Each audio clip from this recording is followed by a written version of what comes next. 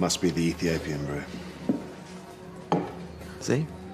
Could be worth for Tony. Could be going out with that. What, do you reckon he's gay? Yeah, with Blades. Thank you for meeting me at such short notice, James. Let's get the extra mark. What can I do for you? right, so I'm thinking of signing the papers and walking away from my marriage with nothing. That would be very generous of you. Well, I'm a very generous person, James. Cindy, you do realize that you're entitled to possibly half Max's estate. yeah, I know, but I just keep thinking if we go to court, won't they find out that I'm married to two different men? We'll plead insanity. Besides, you didn't realize you were still married when you married Dirk. At least that's the official line, anyway. There's ways around these things. That's why I'm your lawyer. Yeah, I'm just not sure that it feels right. I think you're making a big mistake. Well, what's it to you?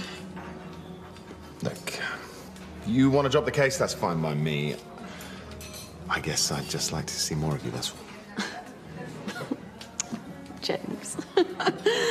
I am really flattered. Yeah, I really am.